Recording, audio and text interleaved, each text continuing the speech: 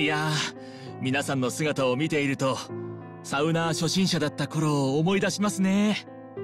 そうだな。サウナはやはり心と体を浄化してくれる。共に伝説のサウナに入ったことにより伝説のサウナーはすっかりデトックスされ元の姿に戻っていたどなたかもっと詳しくサウナの入り方を教えてくださいませんか？ああそっちはフィンランド式でロウリュという熱い蒸気を発生させ楽しむサウナでね。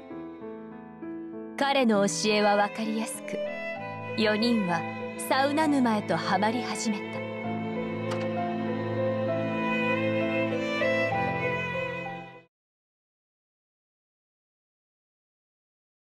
どうだ？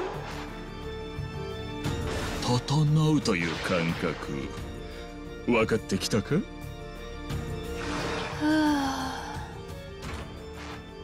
整いました。グレーテルさんのそんな表情。初めて見ました。僕サウナで強くなった気がしますそれは気のせいだ。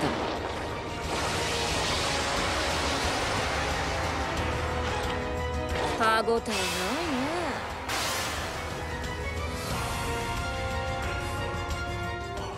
サウナの後に浸かる氷点下の露天水風呂からは見事なオーロラが見えた。まさに伝説のサウナにふさわしい景色に一同は見とれてしまう。仲間と共にサウナへ入る喜びを再認識した伝説のサウナーも改心し再びこの伝説のサウナを開くと決心した。幾度となくサウナを楽しみ整っていった4人はいつしか作者を復活させたいという欲望のことも忘れて立派なサウナーとなった。僕たちずっとここにいます。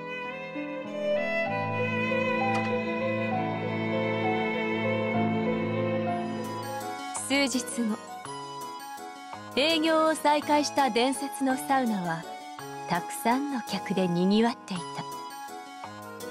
キャラクターズはサウナの真髄を極めマナーを遵守して水風呂に浸かっている。ところが物見湯山の一般客がマナーを守らず水風呂に飛び込んできた。マナーの悪いものは制すべし4人と伝説のサウナーは表変した。マナーの番人としてマナーの悪い一般客を勢いよく投げ飛ばす。